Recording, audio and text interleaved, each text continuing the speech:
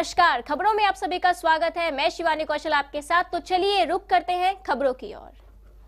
फरीदाबाद में यमुना के पास गाँव नचोली के शिव मंदिर में पिछले कुछ दिनों से विचित्र घटनाएँ घट रही। मंदिर परिसर में एक सांप का आना जाना लगातार लगा हुआ है और लोग इसे भगवान शिव और धार्मिक मान्यताओं से जोड़ रहे हैं।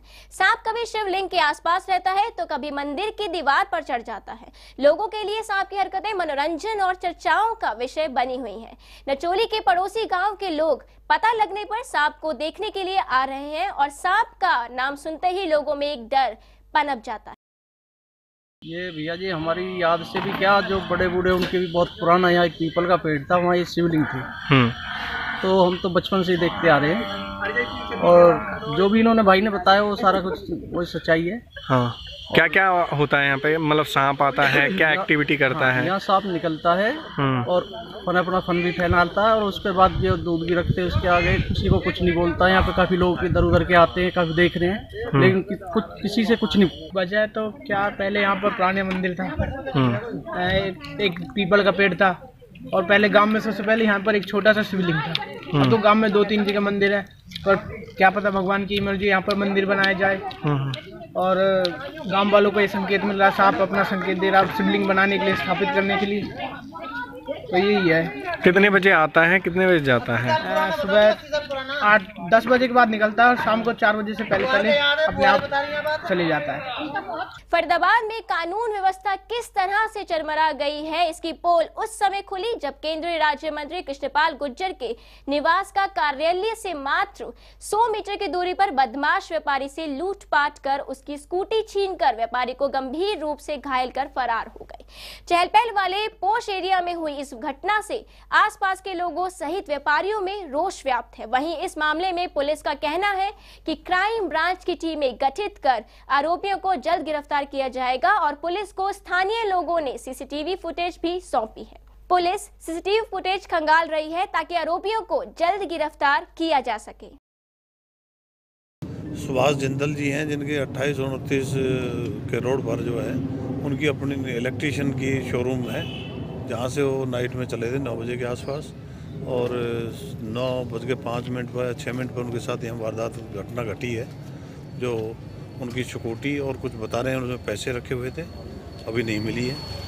जिसके बारे में हम अपनी अभी एफआईआर दर्ज करने के बाद में अलग इन्वेस्टिगेशन जारी रखा। तो वहीं फरीदाबाद के चुनाव निर्वाचन आयोग ने अपने ऊपर उठने वाले सवालों का जवाब देने के लिए नई वीवीपैट मशीन शुरू की है, जिसकी प्रदर्शनी इन दिनों फरीदाबाद के नगर निगम सभागार में लगी हुई है। इस मशीन से अब मतदाता को वोट डालने के बाद पता चल जाएगा कि किस प्रत्याशी को उसका वोट गया है, और इस मशीन की प्रदर्शनी 11 दिनों के लिए फरीदाबाद में चुनाव निर्वाचन आयोग के आदेश पर लगाई गई है, जिसे देखने के बाद मतदाता संतुष्ट नज़र आ रहे हैं और आयोग की सराहना कर रहे हैं। इसकी जानकारी देते हुए चुनाव निर्वाचन आयोग की तरफ़ से प्रदर्शनी दिखाने आए राम निवास ने बताया कि इस मशीन के आ जाने से मतदाताओं के सभी सवालों के जवाब मिल गए हैं और इस मशीन के होने से एक मतदाता सिर्फ़ एक ही बार वोट डाल सकता है और फर्जी वोट डालने का सिलसिला खत्म हो जाएगा। इसके बारे में ये कहना चाहते पहले जो मतदाता को जो है ना जी मतदाता को बहम रहता था शक रहता था हमारी वोट कहाँ जा रही है कहाँ नहीं जा रही। उससे ये मशीन अब जो हमारी सरकार ने बहुत बढ़िया बहुत बढ़िया तरीके की मशीन दी है। हाँ। पैड। जो तैयार किया है ये बहुत बढ़िया तैयार की है। इससे मतदाता को बहुत भरोसा मिलेगा। बढ़िया। तरह अच्छी अच्छी मशीन है ये। जिस तरह से जब भी इलेक्शन होते हैं देखा जाता हाँ, है देखा जाता है विपक्षी पार्टियाँ या बड़ी बड़ी पार्टियाँ वो आरोप लगाती आराम हैं। लगाती रहती हैं। लेकिन ये जो मशीन आई है इसमें किसी का कोई पंगा नहीं होगा। बहुत बढ़िया मशीन कितना विश्वास जग रहा है तो पूरा पूरा विश्वास है इस मशीन पर अब आने वाले समय में बढ़िया चुनाव आ रहे हैं। अब चुनाव आने वाले हैं जी, जी। हरियाणा में। जी। तो क्या क्या लगता है? अब जो है ये मशीन सक्सेसफुल रहेगी हमारी तो अच्छी पहले ही इसकी ट्रेनिंग दी जा रही है। तो आपने भी देखा सीखा हाँ मैंने सीखा देखा इसको चलाया है। बड़ी अच्छी मशीन है ये। तो वही फरीदाबाद में एक बार सफ़ाई कर्मचारी सरकार के विरोध में उतर आए और आज पूरे प्रदेश में तमाम जिला मुख्यालयों पर सफ़ाई कर्मचारियों ने झाड़ू उल्टे उठाकर सड़कों पर विरोध प्रदर्शन किया। जिला सफ़ाई कर्मचारी ने बलबीर गुहेर ने बताया कि बीते साल मई में 16 दिन चली लंबी हड़ताल के बाद शहरी निकास मंत्री कविता जैन की अध्यक्षता में तीन मंत्रियों ने यूनियन नेताओं के साथ सभी मांगों पर सहमति जताते हुए इन्हें शीघ्र लागू करने की बात कही थी। लेकिन छह महीने बीत जाने के बाद भी मांगी गई मांगे अभी तक लागू नहीं की हैं। कर्मचारियों ने कहा कि हम सरकार को चेतावनी देते हैं कि वह समय रहते गरीब सफ़ाई कर्मचारियों की मानी गई मांगों को लागू करें और कर्मचारियों का शोषण करना बंद करें।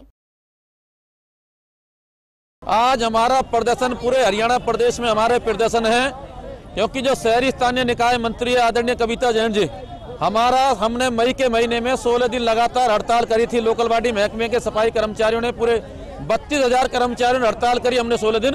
प्रदेश की लोकल बॉडी मंत्री कविता जैन की अध्यक्षता में तीन मंत्रियों ने हमारे नेताओं के साथ बैठक की और बैठक में सारी मांगों पर सहमति जताई। उसमें ठेकेदारी प्रथा सफ़ाई महकमे से पूरी तरीके समाप्त करने की बात पर सहमति बनी। कच्चे कर्मचारियों को पक्का करने पर सहमति बनी। समान काम, समान वेतन लागू करने पर हमारी सहमति बनी।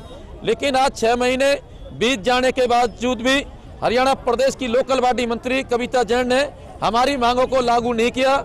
इसलिए आज पूरे हरियाणा प्रदेश के अंदर सरकार के विरोध में है और खासकर हमने भी अपना ये मौका चुना है कि आज पूरे देश के अंदर नरेंद्र भाई मोदी जी का जो सपना है स्वच्छ भारत मिशन का, आज सर्वेक्षण है पूरे देश के अंदर 400 से चार हज़ार शहरों में, आज हमने भी उसको चुना है। चुनाव आने को है, ऐसे में जहाँ विपक्ष ने घोषणाओं का अंबार लगा दिया है तो वहीं सत्तारूढ़ भारतीय जनता पार्टी ने भी योजनाओं का पिटारा खोल दिया है। इसी कड़ी में भाजपा ने घर घर तक गैस कनेक्शन पहुँचाने के लिए एक योजना शुरू की है, जिसको लेकर बल्लभगढ़ स्वास्थ्य गैस कार्यालय पर एक प्रेस वार्ता का आयोजन किया गया।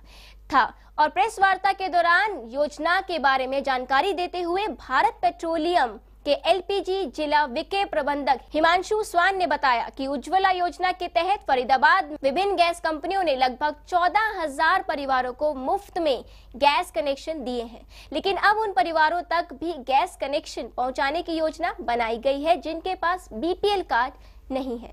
मेरा नाम हिमांशु स्वान है। मैं डिस्ट्रिक्ट नोडल अधिकारी प्रधानमंत्री उज्ज्वला योजना में फरीदाबाद डिस्ट्रिक्ट में कार्यरत हूँ। मेरे को मिनिस्ट्री की तरफ़ से एक प्रेस कॉन्फ्रेंस करने के लिए बोला गया है जिसमें अभी तक उज्ज्वला योजना का क्या रहा है अपने फरीदाबाद डिस्ट्रिक्ट में उसके बारे में बताया गया। जैसे कि फरीदाबाद डिस्ट्रिक्ट में हमने उज्ज्वला योजना में लगभग चौदह हज़ार कनेक्शनों इशू करे हैं जिसमें कि साढ़े नौ हज़ार के करीब भारत पेट्रोलियम के हैं और ढाई ढाई हज़ार के करीब हिंदुस्तान पेट्रोलियम और इंडियन ऑयल के हैं। प्रधानमंत्री उज्ज्वला योजना में एक डिसीज़न लिया गया है। जैसे कि पहले हम लोग एस सी लिस्ट को देख के कनेक्शन दिया करते थे। बाद में एस सी एस टी और अंत्योदय योजना के जो परिवार हैं उनको लिया गया।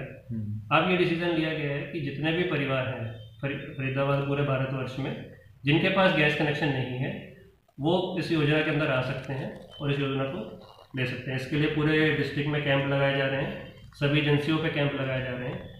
जिन लोगों के घरों में भी कनेक्शन नहीं है वो इस योजना में आके अपना राशन कार्ड 18 साल से ऊपर जो उनके व्यस्तक हैं राशन कार्ड में उनका आधार कार्ड दो चीज़ें अनिवार्य हैं। प्लस उनको एक अपना डिक्लेरेशन देना होता है कि वो गरीब परिवार से बिलोंग करते हैं जो कि एजेंसी पर उपलब्ध है। यानी कि अगर वो इसको आपकी जो टर्म एंड कंडीशन है उसको फॉलो कर लेते हैं उसमें खड़े रहते हैं तो उनको फ्री ऑफ़ कॉस्ट उनको फ्री ऑफ़ कॉस्ट कनेक्शन मिलेगा।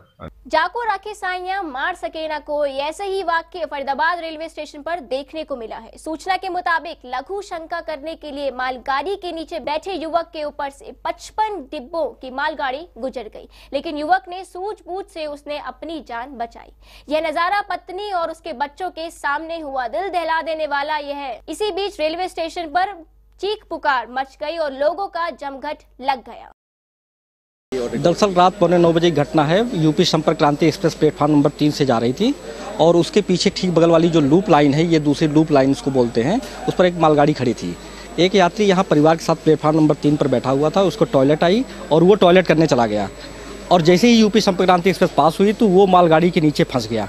जैसे ही ट्रेन चली तो लोगों ने शोर मचाया उसको बोला कि आप सीधे जो है प्लेट, उस पर लेट जाओ। वो बंदा लेट गया और पूरी की पूरी मालगाड़ी उस ऊपर से पास हो गई। तो वहीं बल्लभगढ़ से देशव्यापी हड़ताल को सफल बनाने के लिए C I T U C two Faridabad के कर्मचारियों ने बल्लभगढ़ में रेस्ट हाउस के सामने गेट मीटिंग कर प्रेस वार्ता को संबोधित किया। इस मौके पर कर्मचारियों ने कहा कि कच्चे कर्मचारियों को स्थायी किया जाए और कर्मचारियों को मिनिमम वेतन अठारह हज़ार दिया जाए। कर्मचारी भगवान ने कहा कि कर्मचारियों की मांगों के लिए देशव्यापी हड़ताल की गई है। उन्होंने कहा कि बीएफ के अलावा डीएसआई फंड आदि भी शुरू किए गए ताकि मजदूर अपना जीवन यापन ढंग से कर सके। उन्होंने कहा कि कर्मचारी आज महँगाई के जमाने में काफ़ी दिक्कतों से गुजर रहे हैं। इसमें देश भर के कच्चे कर्मचारी बढ़ चढ़कर हिस्सा लेंगे। विषय जी, एक तो हमारी सरकार के खिलाफ क्योंकि हमारा जो मिड डे मील है वो सबसे कमज़ोर वर्क है और सबसे ज़्यादा शोषण है इनका।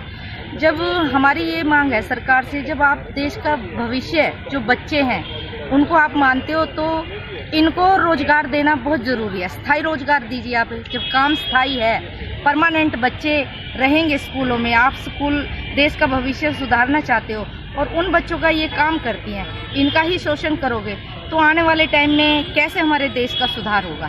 गुरुग्राम में कांग्रेस कार्यकर्ताओं ने सेक्टर 12 स्थित साढ़े तीन एकड़ कॉमर्शियल ज़मीन में हुए 1200 करोड़ रुपए के घोटाले के खिलाफ जमकर प्रदर्शन किया।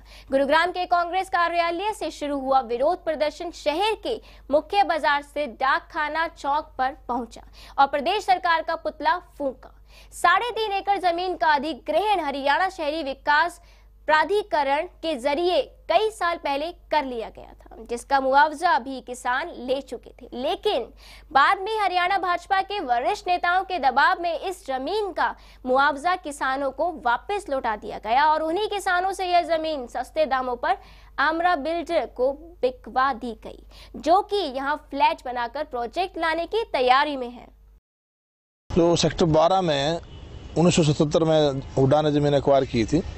उसके बाद उस बिल्डर जमींदार ने बिल्डर ने 2013 में लाइसेंस लगाया। तो विजिलेंस ने बोला कि लाइसेंस नहीं लग सकता, ज़मीन रिलीज़ नहीं हो सकती। लेकिन इस बीजेपी सरकार ने आते ही और विजिलेंस की रिपोर्ट को दरकिनार करके, हुड्डा की रिपोर्ट को दरकिनार करके और सर, जो पुरानी जितनी भी कमेटियाँ उनकी रिपोर्ट को दरकिनार करके और लाइसेंस दे दिया। और सिर्फ़ तीस लाख रुपए में जमींदार को ज़मीन लौटा दी जिसकी कीमत आज बाज़ार भाव में तीन सौ करोड़ रुपए है।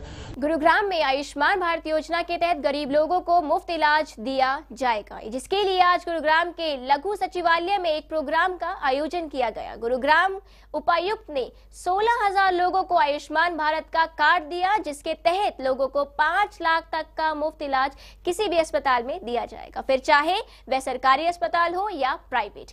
वही गुरुग्राम सीएमओ की माने तो इस योजना में गुरुग्राम के पचासी हज़ार लोगों को लाभ दिया जाएगा, जिसमें से बीस हज़ार लोगों को कार्ड दिए जा चुके हैं। आयुष्मान भारत योजना में सरकार ने कई प्राइवेट हॉस्पिटल कोड संयोजना का हिस्सा बनाया है। लेकिन अब देखना यह होगा कि इस योजना का पालन किस तरह किया जाता है। आज हमने जो आयुष्मान भारत, जो हमारा प्रधानमंत्री जन आरोग्य योजना है उसके अंतर्गत जो पत्र मिले थे जो हमारे पास हेडक्वार्टर से आए थे वो सभी बेनिफिशरीज को बुलाकर यहाँ पर डिस्ट्रीब्यूट किए गए हैं और उनको इस योजना के क्या लाभ रहेंगे क्या फ़ायदा मिलेगा किन अस्पताल में वो जा सकते हैं ठीक है? उन्होंने अपना रजिस्ट्रेशन कैसे कराना है और कैसे उनको इस तरह का लाभ मिलेगा इसके बारे में विस्तार से इनको बताया जाएगा। कितने कार्ड बांट दिए? सर आज हमने कम करीब यानी कि 500 के करीब जो कार्ड्स हैं वो डिस्ट्रीब्यूट पूरे गुड़गांव में देखिए आयुष्मान योजना के तहत जो चिन्हित परिवार हैं, उनको पाँच लाख तक का सालाना किसी भी बीमारी पर खर्च का जो खर्चा है, वो सरकार वहन करेगी। एक बहुत बड़ी योजना है, जिसमें काफ़ी करोड़ों परिवार पूरे देश में इसमें शामिल हैं। इसमें चिन्हित अस्पताल हैं। उनमें इस तरह की सेवा को एक गोल्डन कार्ड जो स्वास्थ्य विभाग के द्वारा जारी किया जाएगा, वो दिखाकर इनकी सेवाओं का लाभ लिया जा सकता है और पाँच लाख तक का खर्चा एक परिवार का एक साल का सरकार वहन करेगी। सर अब तक कितने कार्ड जो हैं बढ़ चुके हैं गुरुग्राम में? गुरुग्राम में लगभग सोलह हज़ार कार्ड वितरित किए जा चुके हैं। लगभग पिचासी हज़ार इसके बेनिफिशरीज गुरुग्राम में चिन्हित हैं। उन तक पहुँचने के लिए आज एक कार्यक्रम किया गया जिसमें एक पत्र के माध्यम से जो जो बेनिफिशरीज़ हैं उनके घर पर एक पत्र भेजा गया है ताकि इस स्कीम के बारे में उन्हें जानकारी मिले। और एक सूची भी साथ भेजी जा रही है अस्पतालों की जो ज़िले में इसके साथ एम्पैनल्ड हैं ताकि लोग इन अस्पतालों में जाकर अपनी बीमारी का इलाज करा सकें। क्या प्राइवेट अस्पताल भी इसमें इन्वॉल्व हैं और कितने? इसमें काफ़ी प्राइवेट अस्पताल भी इन्वॉल्व हैं। लगभग गुरुग्राम ज़िले में 16 अस्पताल ऐसे हैं जो इस पे ऑन बोर्ड हैं। इसके अलावा पाँच सरकारी अस्पताल भी इस स्कीम के साथ जुड़े हुए हैं। पलवल में कांग्रेस के प्रदेश प्रवक्ता विकास चौधरी ने कहा कि अगर भाजपा इस ही मायने में फरीदाबाद के साथ साथ पलवल जिलों के विकास की सोच रखे तो भाजपा फरीदाबाद, बल्लभगढ़ में कांग्रेस सरकार की देन मेट्रो परियोजना का गठन के साथ ही मेट्रो की सीटी पलवल में बजाने का कार्य करते। उन्होंने कहा कि भाजपाइयों ने हाल ही में फरीदाबाद से गुड़गांव मेट्रो परियोजना लाने का जुमला फेंका है, जबकि फरीदाबाद और पलवल की का विकास एक दूसरे से जुड़ा हुआ है। ऐसे में पलवल की बजाय गुड़गांव के लिए मेट्रो की घोषणा, पलवल ज़िले के साथ सरासर अन्याय है। 2014 में कांग्रेस की सरकार बनते ही पहली कलम से पलवल में मेट्रो की सीटी बजाने की सार्वजनिक घोषणा की गई थी और अब 2019 में कांग्रेस सरकार बनते ही पलवल तक मेट्रो लाई जाएगी। ऐसा है कि भाजपा सरकार जब से बनी है, ये पब्लिक को गुमराह करने के लिए झूठ और जुमलों का इस्तेमाल करती आई है। वही हमें इस रैली में देखने को मिला। जब ये शंखनाद रैली हुई थी शुरू, इसके लिए प्रचार के लिए निकले थे हमारे उद्योग मंत्री विपुल गोयल जी तो ये पलवल भी गए, सोहना भी गए आपका फिरोजपुर झिरका तक गए इन्होंने लोगों से कहा कि आप लोग रैली में आइए। ये रैली साढ़े चार साल के हमारे विकास कार्यों पर मोहर लगाएगी और आप लोगों को बड़ी बड़ी सौगातें देगी। लेकिन देखने को क्या मिला? कुछ भी नहीं।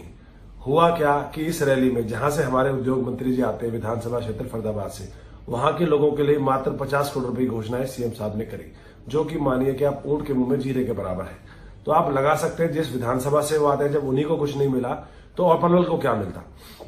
मैं आपको बताना चाहूँगा, आज से 14 मई 2016 दो साल पहले भी हमारे यही उद्योग मंत्री थे और यही हमारे मुख्यमंत्री थे। इन्होंने डिजिटल रैली करी और इन्होंने कहा कि फर्दर विधानसभा का बहुत विकास करेंगे।